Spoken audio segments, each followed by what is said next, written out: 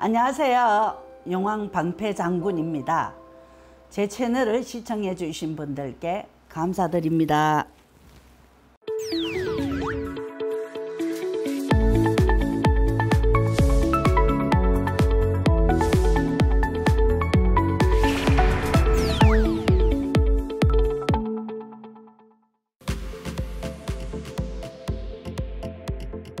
(2021년도는) 어 제가 볼 때는 돼지띠 소띠, 원숭이띠. 나이에 따라 틀리기도 하고 성격에 따라 틀리기도 하고 또 대박 난다고 또 엄한 일을 뭐 투자를 한다라든지 이런 부분은 좋은 거는 아니겠지만 2021년도를 보면서 좋은 띠를 볼 때 이제 새로운 시작점이 되는 분들도 있을 거고요.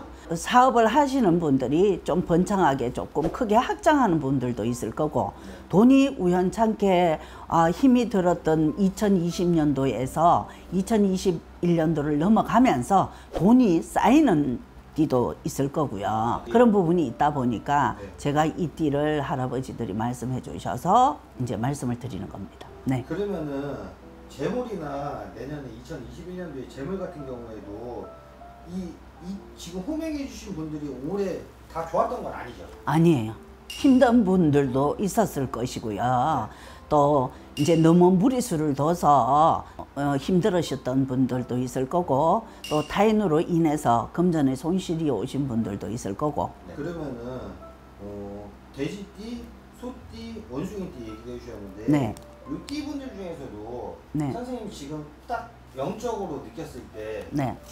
나이는 그러면 어느 나이 대가 돼지띠로 보면 어, 38살 네, 개생. 네, 그 다음에 어, 62살 기해생. 그 다음에 50살 신해생. 네.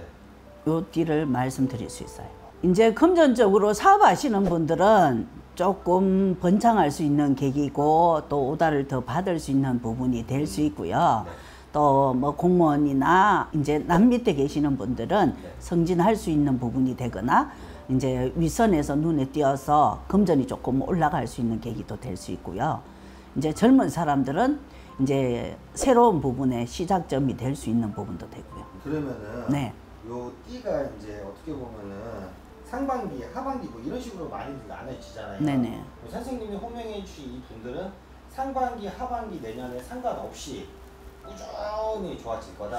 아니요, 꾸준히 좋아지지는 않아요. 하지만 네. 이제 생일에 따라 네. 좀 생일을 지나면서 아마 조금 달라지는 부분이 있을 수, 있을 수 있을 거예요. 그거 말고는 다른 거는 뭐 주의해야 될 점은 없을까요?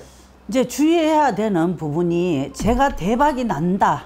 라고 했다고 그냥 앉아서 뭐 복권 산다라든지 아니면 감이 떨어지기를 바라고 있으면 안 되겠죠. 그죠?